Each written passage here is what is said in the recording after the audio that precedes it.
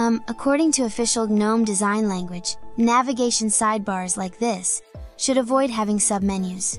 If I remember correctly on GNOME 44 they killed two such menus, and one of this was the privacy panel? Anyway, point is that on 45 the last remaining task was the apps section, that still puts all the items on a left list pretty much replacing the actual navigation. Of course sometimes that may turn into a benefit, for example if we want to quickly navigate through many apps, but most of the times it just becomes super annoying, and also breaks the famous GNOME consistency. So they have fixed that already on main for GNOME 46. And by the way, do you remember the extra panel for the default apps?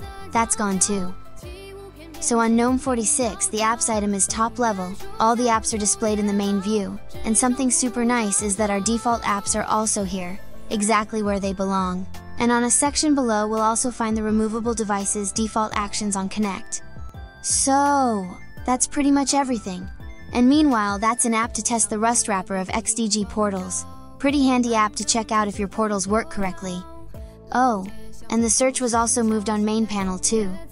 And it maintains the search results on back and forth. One last thing I want to show you. Um, if we go to keyboard, and add a new input source. First of all, this widget has been ported from a Adwaita dialog to an Adwaita app. Anyway, not a big deal really. Now, if we add a new input, and this is something on GNOME 45, but I never have showed to you and you may have never seen it, but there is a new keyboard previewer. It's called Tecla, and it blends nicely with all the rest, although I'm not completely sure if those are Chinese.